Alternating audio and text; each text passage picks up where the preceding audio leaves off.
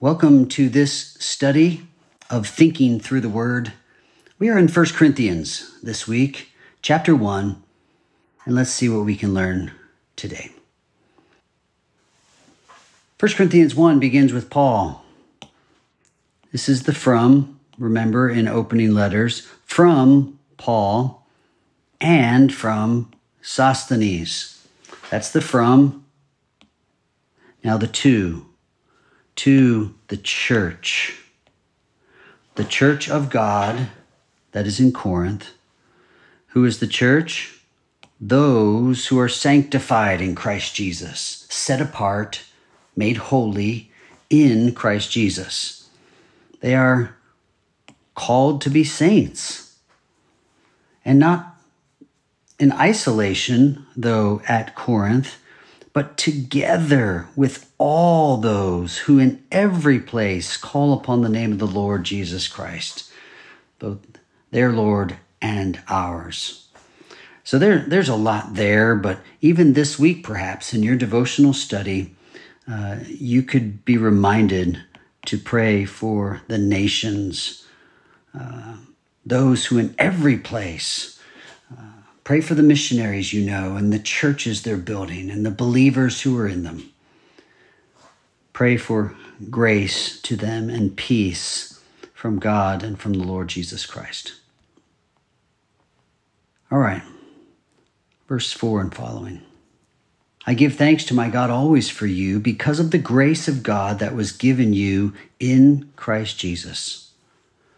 Now, what is this grace in Christ Jesus. For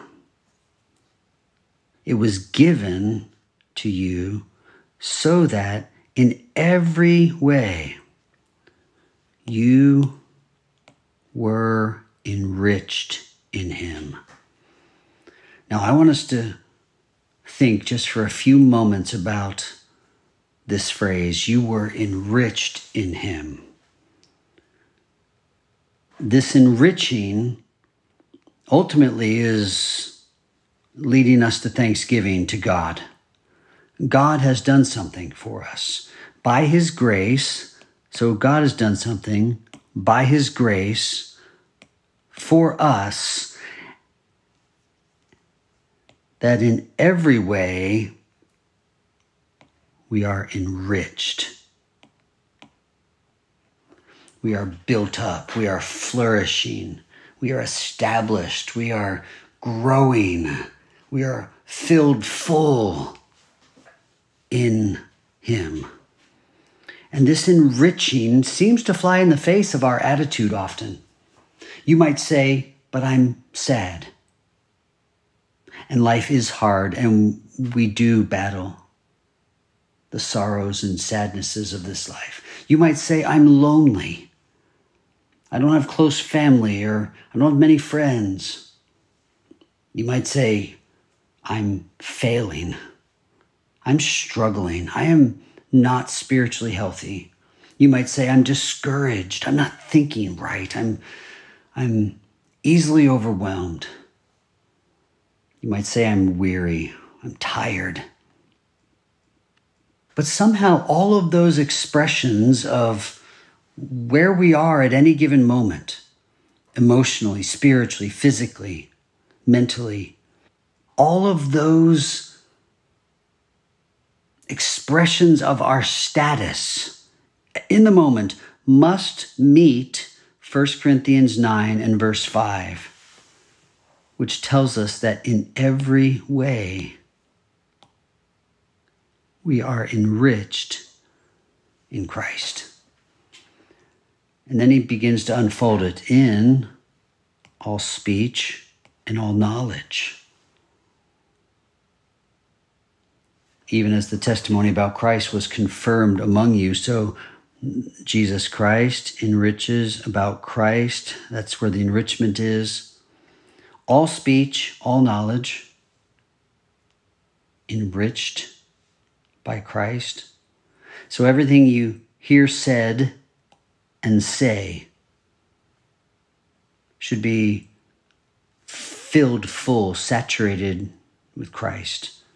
All knowledge takes on uh, a fuller understanding when we see Christ as the source of all things, of all truth. This enrichment, not only in our speech and our knowledge, but this enrichment reveals that we are not lacking in any spiritual gift. In every way, enriched in Him, in all speech and all knowledge, you're not lacking in any spiritual gift. This enrichment enables us to wait and it's not a twiddling our thumbs, it's an ongoing waiting, waiting for the revealing of our Lord Jesus Christ. But this waiting is likened to the next phrase you will be sustained. That's part of the enrichment. And again, sustained to the revealing or to the end. There's the end. And all the way there, enriching. Ultimately, look at this enrichment Verse 8 guiltless in the day of our Lord Jesus Christ. Guiltless. This enrichment is by the grace of God, but it is an eternal enrichment. The grace of God that draws us to Christ Jesus, so that the testimony about Christ is confirmed among us is an enrichment that lasts for eternity, guiltless in the day of our Lord Jesus Christ. You say, I don't know. That, that does not sound like my life. Well, look at verse 9. God is faithful. After saying all this, our thoughts tend toward, oh man, I don't know, all speech and all knowledge, enriched, not lacking anything spiritually, waiting and sustained, guiltless. How is all that possible? It is possible because God is faithful. God is faithful. And God, by whom God is the one who called you into the fellowship of his Son. Now see that this word fellowship, you're called into the fellowship of his Son. Originally, it was said by grace in every way you were enriched. So you were enriched by God's grace. And that enrichment is the fellowship of the Son, Jesus Christ. In other words, you can't have enrichment without the fellowship with the Son. There is no enrichment without Jesus Christ. The person of Jesus Christ is the source of your enrichment, of your flourishing, of your blossoming, of your growing, of your being filled full. So everything in verses 5 through 8 is possible if and only if you fellowship with the Son. And so, f- fellowship in the Son.